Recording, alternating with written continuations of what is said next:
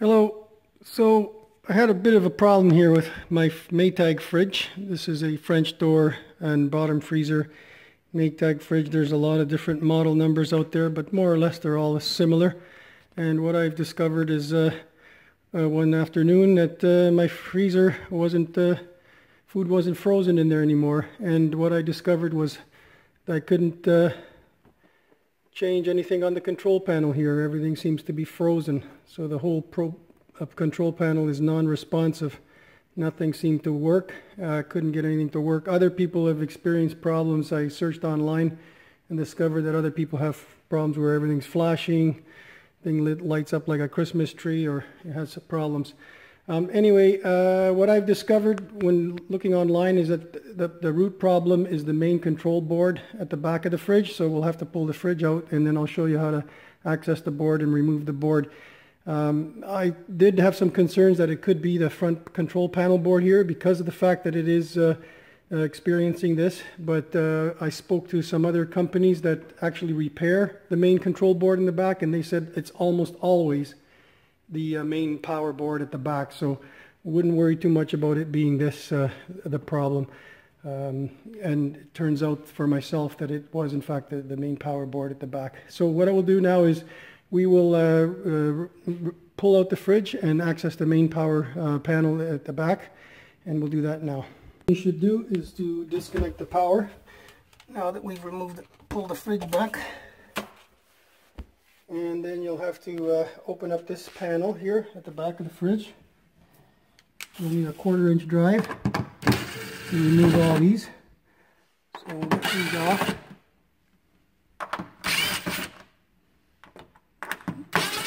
And then we'll be able to uncover where the main power board is. So now you've uncovered the board you, with a quarter inch drive. You'll need to get in here and you'll need to uh, open this uh, plastic cover. Just remove that carefully. And you've exposed your board. So you basically remove these by pressing here on the little tab and just jiggle them off. So get all four of those off. There's one up here. The tab is at the bottom here. There. So that uncovers the board. Then with a screwdriver, you can either use a screwdriver to get under there, or you can just use your finger to press down and we can remove this board out. With that, you'll just be able to pull the board right out. So here's my old board. And uh, right over here, you will see the, uh, part number. And I used that part number. I searched online and I was able to find uh, a company here locally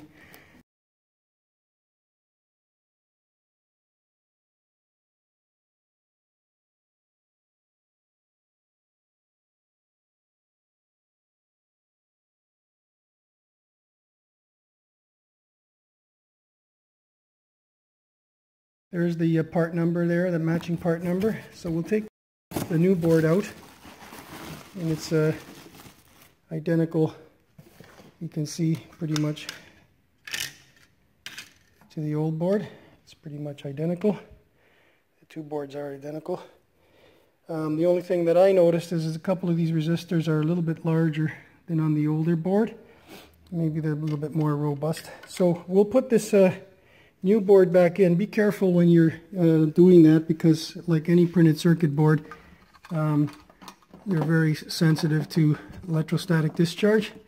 So I would be very careful about handling the board. Make sure you've discharged yourself. So just clip that back in with those two clips at the bottom and then you're all set to go here.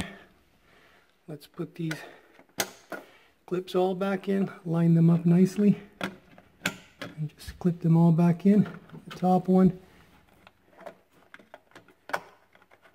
Sorry for the shaky video. Just make sure you get those wires all nice and neat back up in there. And then the last one here. Okay so once you've got that all back in then we can put the uh, cover back on so let's do that. So now I'm just going to fit this cover back in here Get that back in there nicely. Put that on. Make sure it's good and clipped in there. And you'll have to put this cover back on. Make sure that that side goes in there first. And line up the holes. And we'll put the screws back in. Okay, so now just put the screws back on. Not too forcefully. Get them on.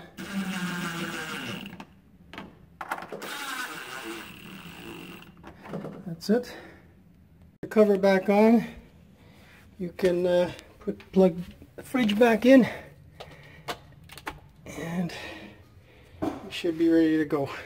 Okay, put the fridge back in. Now the uh, we have the board installed and of course now you have to reprogram uh, that board.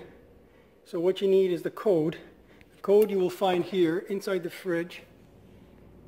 There's a sticker in your fridge and this one here is showing here code 1720 so that's the number we'll have to enter into the fridge. So let's get that entered. So to do that uh, what you'll have to do is you'll have to press the uh, there's a button here.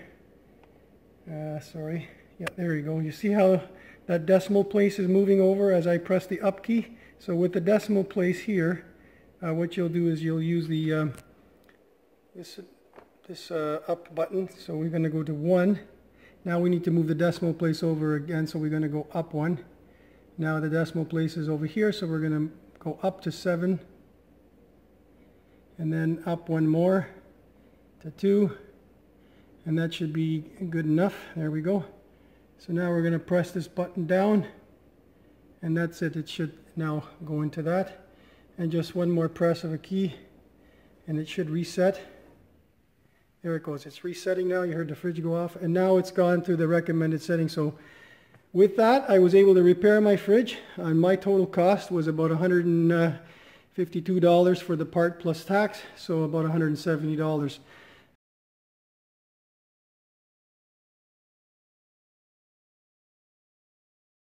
Once you've installed your main power board and if you're not in a program mode, you need to get it into program mode. The way to do that, you press the door alarm button first, then the freezer temperature down control button, hold for three seconds, release the door alarm, and you'll see it goes into program mode.